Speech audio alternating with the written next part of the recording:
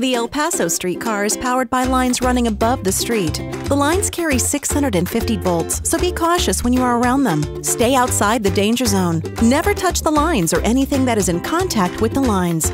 Be streetcar safe.